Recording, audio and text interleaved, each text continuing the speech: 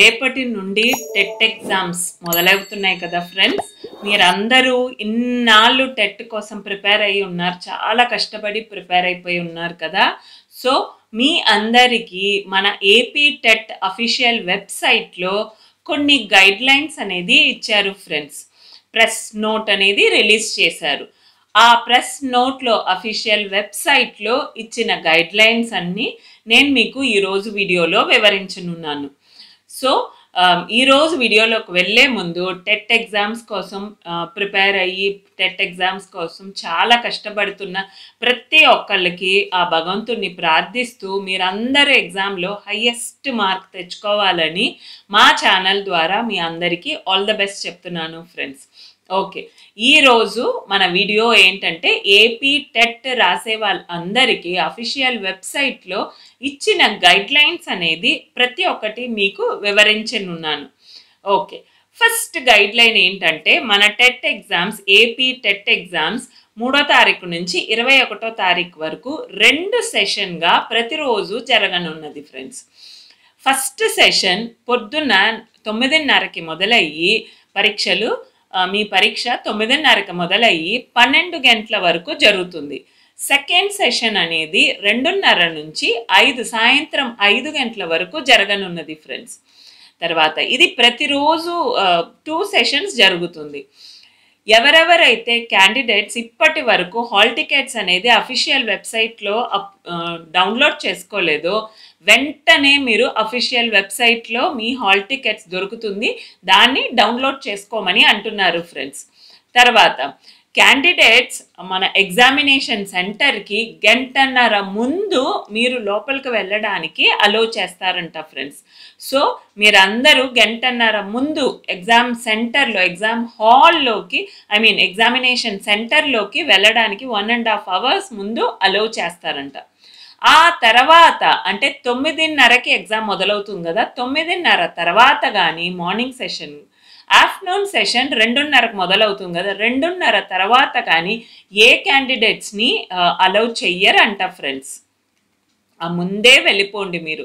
తర్వాత ప్రతి ఒక్క ఎగ్జామినేషన్ సెంటర్లోనూ అంటే ఒక హెల్ప్ సెంటర్ అనేది డిస్ట్రిక్ట్ డిఈఓ వాళ్ళు ఇన్ ఎవ్రీ డిస్ట్రిక్ట్ ప్రతి డిస్ట్రిక్ట్లోనూ హెల్ప్ సెంటర్స్ అనేది ఉంటుందండి. మీకు ఏదైనా సలహాలు ఐ మీన్ మీకు ఏదైనా డౌట్స్ ఉందంటే ఆ హెల్ప్ సెంటర్లో మీరు క్లారిఫై చేసుకోవచ్చు ఫ్రెండ్స్ తర్వాత మీతో పాటు మీరు ఎగ్జామ్కి వెళ్ళేటప్పుడు ఎగ్జామ్ సెంటర్కి వెళ్ళేటప్పుడు మీతో పాటు తప్పనిసరి మీ ఐడెంటిటీ కార్డ్ అనేది తీసుకువెళ్ళాలంట. ఐడెంటిటీ కార్డ్ అంటే ఏమేమి తీసుకువెళ్ళచ్చు?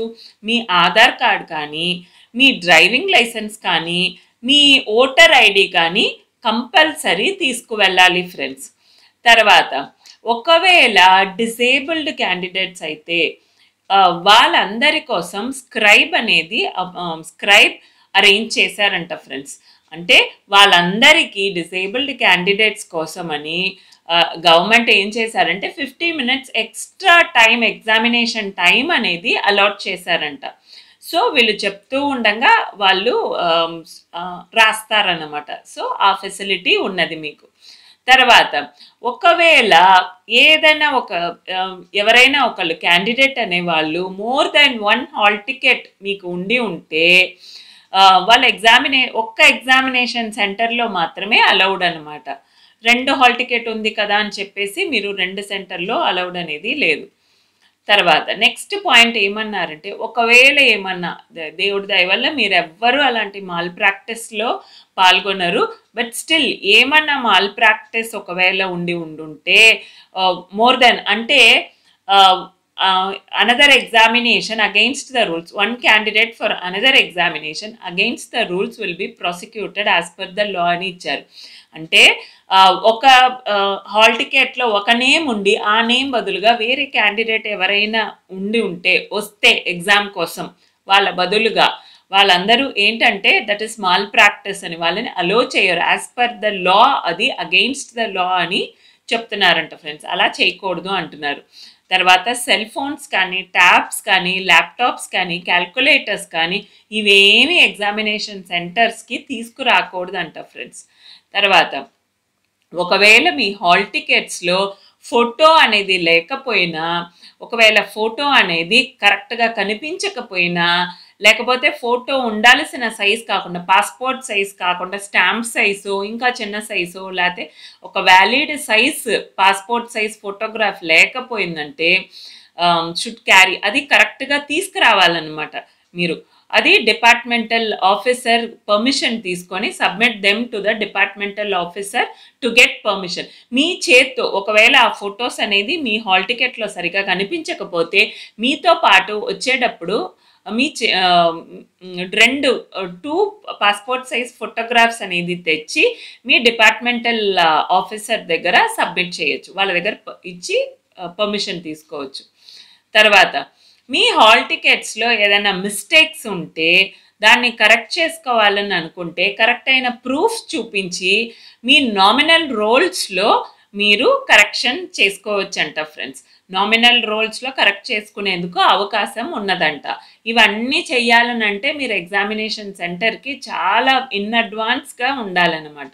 మీరు అక్కడ తర్వాత ఏమేమి కరెక్ట్ చేసుకోగలుగుతారు? మీ హాల్ టికెట్లో మిస్టేక్స్లో ఏమేమి కరెక్ట్ చేసుకోగల గలుగుతారు?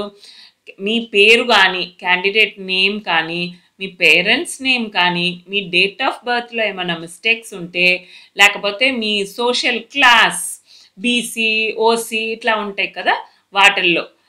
ఏదైనా మిస్టేక్స్ ఉన్నా మీ జెండర్లో ఏమైనా మిస్టేక్స్ ఉన్నా లేకపోతే ఎక్స్ సర్వీస్ మెన్ అనే దాంట్లో మిస్టేక్ ఉన్నా ఒకవేళ ఫోటోగ్రాఫ్లో మిస్టేక్ ఉన్నా లేకపోతే క్యాండిడేట్ సిగ్నేచర్లో మిస్టేక్ ఉన్నా లేకపోతే మొబైల్ నంబర్లో మిస్టేక్స్ ఉన్నా ఆధార్ నంబర్లో మిస్టేక్స్ ఉన్నా మాత్రమే కరెక్షన్ చెయ్యబడును. మీ పేపర్స్ అనేది మార్చలేదు అంటే టెట్ పేపర్ వన్కి అప్లై చేసేసి పేపర్ టూని కరెక్ట్ చేయాలని అంటే అది అలౌడ్ అనేది కాదంట ఫ్రెండ్స్. అవన్నీ కాదు. నేను చదివిన నేను చెప్పిన వీటిల్లో ఏమైనా కరెక్షన్స్ ఉంటే మాత్రమే కరెక్షన్ చెయ్యబడునంట ఎగ్జామినేషన్ సెంటర్లో. తర్వాత మీరు two hours before maximum two uh, ఈ కన్ఫ్యూషన్ ఈ కేయోస్ కన్ఫ్యూషన్ అన్నీ అవాయిడ్ చేయాలంటే ఎగ్జామినేషన్ సెంటర్స్కి దయచేసి టూ అవర్స్ ముందు వెళ్ళిపోండి. హరీబరీగా లాస్ట్ మినిట్లో కంగారు పడిపోయి మీరు ఈ కంగారులో ఎగ్జామ్కి వెళ్ళి కూర్చోగానే మనకి మనం ఎన్నాళ్ళు ప్రిపేర్ అయినది ఖచ్చితంగా గుర్తురాదు ఫ్రెండ్స్ అలా చేసుకోవద్దు. సో ఇన్ అడ్వాన్స్డ్గా టూ అవర్స్ ముందు వెళ్ళిపోండి.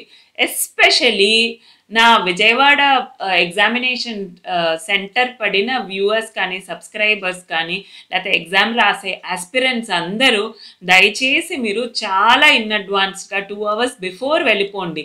ఎందుకనంటే మనకి దసరా మొదలైంది కదా ఫ్రెండ్స్. విజయవాడ కనకదుర్గమ్మ వారు ఆ వారధి దగ్గర అంతా చాలా ట్రాఫిక్ జామ్ ఉంటుంది.